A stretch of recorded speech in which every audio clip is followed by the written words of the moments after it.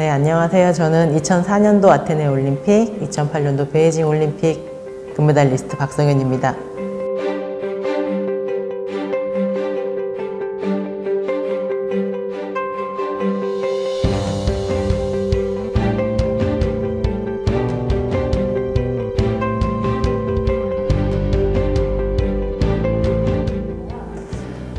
올림픽 이후로는 선수 생활 짧게 하다가 2011년도부터 이제 활을 쏘지 않고 지도하는 걸로 완전히 도- 바꿔서 전북도청에서 선수들을 가르치고 있습니다.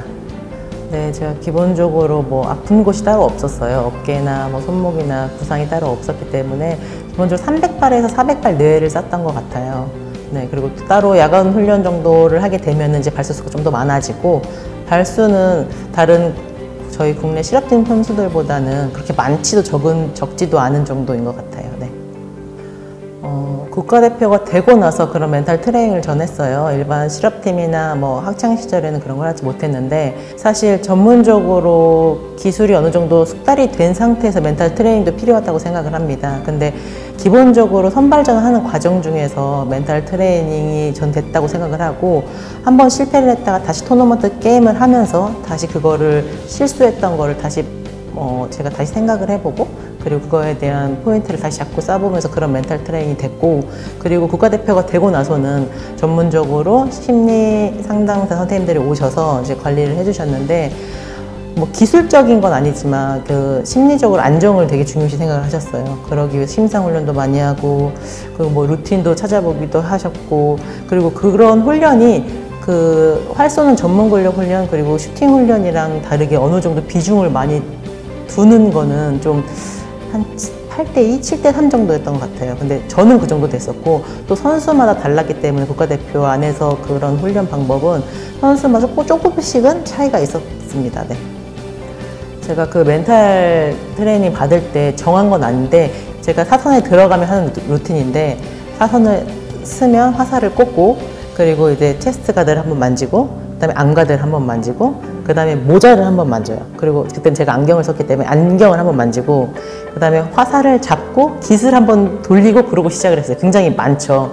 근데 제가 저도 이렇게 많은 루틴이 있었다는 걸 저도 생각 못했는데 올림픽 끝나고 그 이제 제, 저의 기술적인 실수나 그런 걸 확인하기 위해서 영상을 보니까 제가 긴장도가 많을 때 이걸 더 많이 하더라고요. 그래서 그걸 보면서 아 내가 굉장히 심리적으로 불안하거나 안정적이지 못할 때 했던 긴장 상황에서 많이 하는 루틴이 이렇게 체계적으로 돼 있었구나. 그래서 2003년도부터 제가 알았던 것 같아요. 제가 현장에서 사선에서 쐈을 때도 굉장히 많이 생각이 들었고 예전에 제가 내가 쐈을 때는 어땠지 이런 긴장감을 그 선수들하고 똑같이 느꼈었잖아요. 아 내가 느끼는 감정들을 아이들 친구들도 느끼고 있- 있겠구나. 근데 좀 안타까운 마, 마음이 들었어요. 왜냐하면 굉장히 부담이 많이, 많이 될 텐데. 근데 이 친구들이 굉장히 게임도 잘 풀어가고 서로 서로 의지하면서 한 해 해전마다 거듭할 때마다 좋은 모습을 보이면서 아, 앞으로 내가 걱정하는 것만큼은 또 우리 친구들이 우리 선수들이 굉장히 잘 이겨내고 있구나. 그 굉장히 그리고 서로에 대한 다독이는 걸 보면서 뭐 9연패가 아니라 10연패도 어느 선수, 선수가 돼도 후배들이 나와도 이어갈 수 있겠구나. 그런 또 확신이 느껴지더라고요.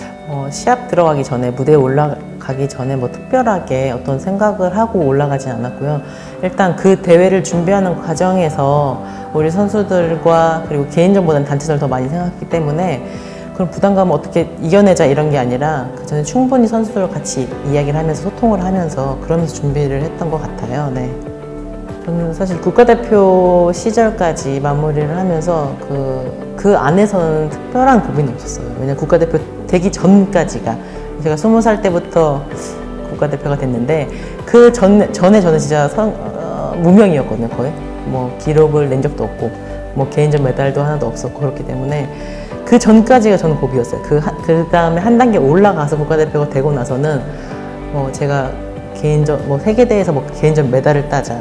그리고 뭐 그랜드 슬램을 하자. 올림픽 나가서 메달을 획득하고 싶다. 이런 마음이 아니라 그냥 저는, 저의 목표는 국가대표가 되고 싶었기 때문에 국가대표가 되는 과정을 제가 화를 놓을 때까지는 제가 끝까지 했었거든요.